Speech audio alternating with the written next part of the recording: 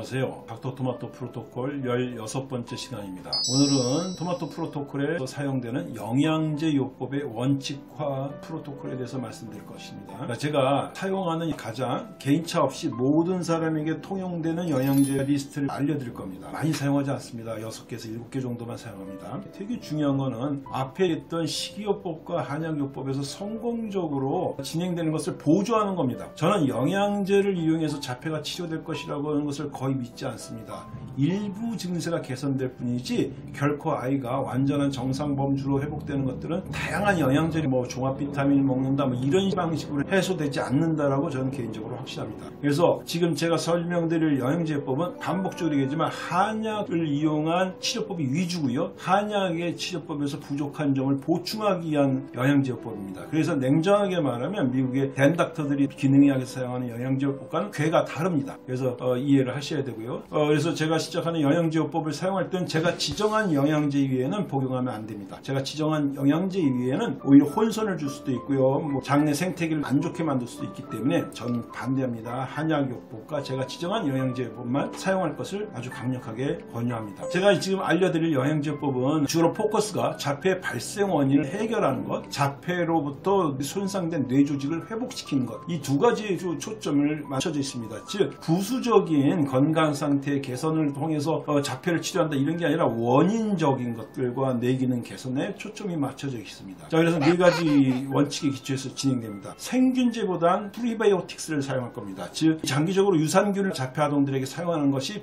그닥 좋은 결과를 만들지 않습니다. 그래서 생균제를 사용하는 것보단 prebiotics를 사용하는 것이 가장 안전하다는 것을 제가 누차 확인해 가고 있습니다. 두 번째는 시보 증세죠. 소장의 세균 과다 증식 증세인 시보 해결을 위한 소화 기능 개선에 초점을 맞춘 영양제를 사용할 것입니다. 세 번째는요. 뇌 염증만을 완화시킬 목적의 영양제를 사용할 거고요. 어, 네 번째 굉장히 중요한데 손상된 자율신경계의 회복을 돕는 영양제 요법들까지 추가하게 될 것입니다. 아주 근본적으로 자폐 증세를 개선시키는데 도움이 될 만한 것으로 구성을 하고 있습니다. 영양제 요법은 3단계 통해서 진행되는데요. 1단계 사용될 영양제는 기본적으로 세 종류입니다. 첫 번째 이눌린을 사용합니다. 식이섬유죠. 이건 아침에만 한번 복용하는데 티스푼 우리가 말하는 커피 스푼 정도가 아닙니다. 어린이 밥 숟갈 정도라고 생각하면 됩니다. 어린이 밥 숟갈 용량 절반 정도의 티스푼을 물에 타서 먹여도 되지만 한약에 그냥 타서 먹입니다. 굉장히 맛있어요. 용량이 더 늘어도 무방합니다. 그러나 절반 정도의 티스푼 용량이면 효과가 충분합니다. 이 이놀린은 장내 현기성 박테리아를 감소시키는 효과가 아주 강력합니다.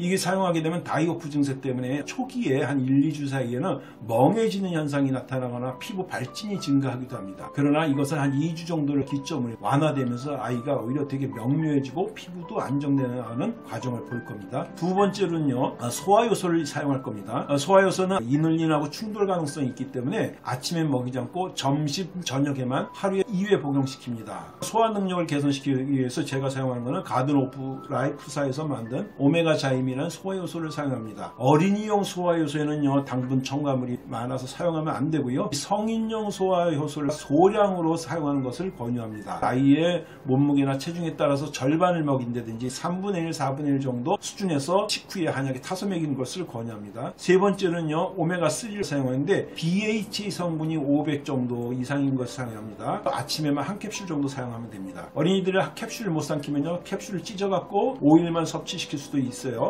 큰 아이들은 캡슐 삼키셔도 됩니다. 이거는 브레인에 보호하는 항염증 작용을 강화시켜서 염증으로부터 뇌를 보호하는 작용을 할 것입니다. 그 다음에 다양한 오일을 복용하는 건 상관이 없습니다. extra virgin 올리브유를 쓴다든지 MCT 오일을 쓴다든지 대마 오일을 쓴다든지 이렇게 오일을 한약에 타서 먹이게 되면 다양한 항산화 작용이나 항염증 작용을 증가시킬 수 있습니다. 단 오일 성분이 들어가면 아이가 대변이 물러질 수 있기 때문에 아주 심하게 설사가 나지 않는 수준에서 레벨을 조정을 하게 됩니다. 1단계 영양제에 의해서 가장 기초적인 장의 안정과 뇌의 안정도를 보호한다면요. 2단계 영양제는 마그네슘과 B6를 사용하는 단계입니다. 마그네슘과 B6를 사용하는 요법은 1970년 이후로도 미국에서 자폐 아동들에게서 굉장히 안정적으로 확인된 요법입니다. 마그네슘과 B6가 두 가지 정도의 효과를 가질 수 있습니다. 마그네슘 자체가 장내 흡수를 방해를 해갖고 장에서 증식된 유해 세균들의 이물질들을 밖으로 빼내는 작용을 합니다. 즉 대변을 누르게 해서 장 청소를 증식을 계속 시켜서 장내 세균들의 증식에 악화되는 것들을 방지해 들어갈 수 있고요. 두 번째로는요, 이 마그네슘이 그 자율신경계의 불안 정도를 조절할 수 있습니다. 자폐아동에게 만성화된 두려움이나 공포감을 완화시킬 수 있고요. 수면을 안정시킬 수 있는 효과들도 보이게 됩니다. 그래서 이 마그네슘과 B6를 혼합해서 먹이는 건 굉장히 중요한데요.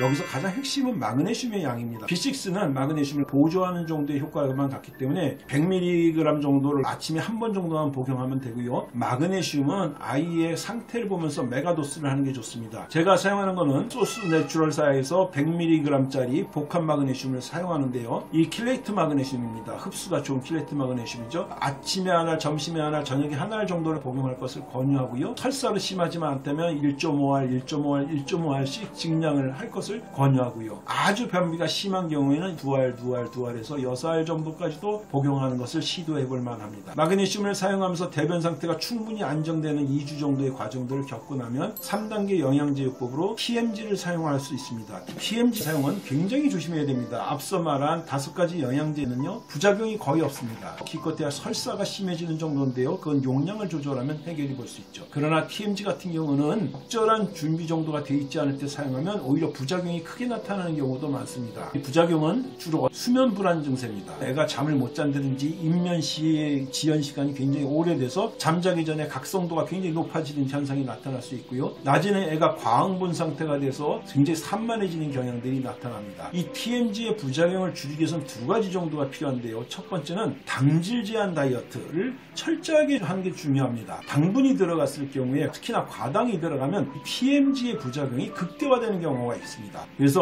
과당 제한 다이어트를 아주 정확하게 한 상태에서 진행하는 것이 가장 바람직합니다. 두 번째로는 TMG 같은 경우에 의도하는 효과를 정확하게 보고자 한다면 감각 처리 장애가 굉장히 안정돼 있어야 됩니다. 감각 처리 장애가 불안정한 상태에서 감각 추구 현상이 아직도 강하게 때문에 TMG를 복용하는 것만으로도 감각 추구 현상이 극대화되는 경향이 많습니다. 그러므로 부작용을 피하기 위해서는 한약을 1단계, 2단계, 3단계를 적어도 2, 3개월 치료해서 아이가 감각적으로 굉장히 안정돼 있고 과당도 먹지 않은 상태에서 흥분도가 진정돼서 거의 자폐적인 성향이 많이 완화된 상태에서 TMG 를 사용하는 것이 부작용을 피할 수 있는 가장 좋은 방법입니다. 좋은 방법이에요. 그래서 TMG를 사용할 때는 제가 치료를 진행하는 것을 지침에 의해서 하셔야 효과를 보실 수 있지 일반적으로 TMG나 DMG가 좋다고 해서 먹는다고 효과를 내지 못합니다. TMG를 사용했을 때 효과는 어떻게 되냐면 뇌 활동 자체가 맥시멈으로 확산될 수 있습니다. 그래서 속되게 말하면 빠릿빠릿해지고요. 반응 속도가 높아집니다. 그리고 뇌의 전체적인 활성과 전전두엽의 활성화가 같이 이루어지기 때문에 언어 능력이나 종합사고력을 확 늘릴 수 있습니다. 그래서 상호작용하는 능력 자체를 발 달시킬 수 있고 인지 능력도 굉장히 개선시킬 수 있습니다. 그러나 이것은 효과를 냈을 때 이야기고요. 정확하게 아이가 준비되어 있지 못할 때 TMG를 사용하면 부작용이 훨씬 더 극심하기 때문에 이것은 주의 깊은 사용이 요구됩니다. 간혹 TMG 말고 DMG가 더 효과를 보는 아이들도 있기는 합니다. 그러나 제 경험에 의하면 방조제한 다이어트가 정확하게 이루어진 상태에서 TMG가 들어갈 경우에는 부작용이 거의 없습니다. 특히나 저용량에서는 부작용이 없을 수 있어요. DMG가 부작용 발생률이 훨씬 더 높게 보입니다. 그래서 TMG를 위주로 사용할 것을 권유합니다. 다시 한번 말씀드리지만 가급적이면 의사하고 닥터토마토 프로토콜을 정확하게 수행한 기초 위에서 TMG를 사용할 것을 권유합니다.